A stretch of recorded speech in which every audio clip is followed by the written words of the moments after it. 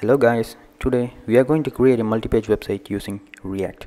I know this topic will confuse if you're familiar with React because React is made for creating single page apps.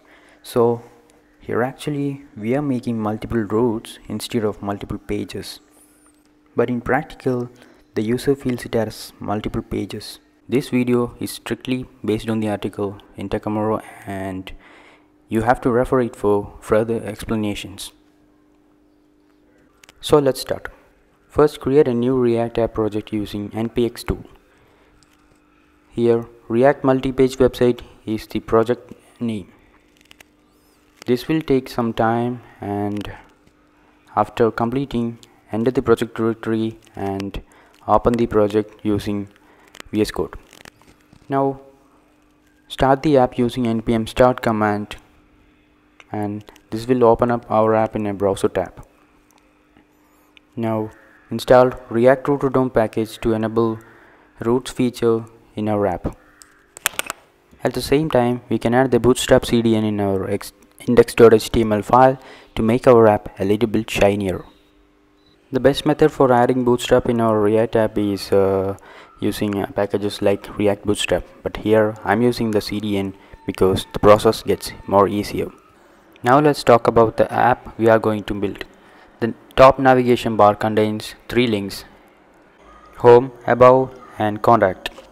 Clicking these links will render components associated with it. React Router DOM package will help us to direct our app to a route. We will define all the routes and associated components in app.js later. So I'm creating a directory called components inside src to store all the components required for our app. Now let's start by coding the navigation.jsx. It contains a title section and three links home, about and contact.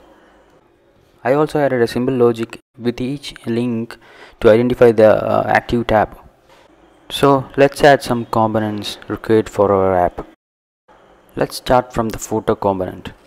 Just copy the code from Takamuro and we are just creating a footer.jsx in the same manner, we will create a home.jsx, a about.jsx and a contact.jsx component. So when the path changes to localhost 3000 slash home, it will render the home component and if it's slash about, it will render the about component and if it's slash contact, it will render the contact component. So in case of user, user will see a switching of pages but actually the switching of components are happening. We are also adding an index.js file in the components directory where all the export of these components occur. Now let's talk where the real logic of this app lies. It is in app.js.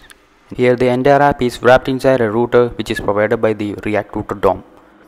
Also, all the routes in our app must be wrapped inside a switch component, which is also provided by React Router DOM. So, if a link is clicked, it first check the app.js and find the route and render the associated component.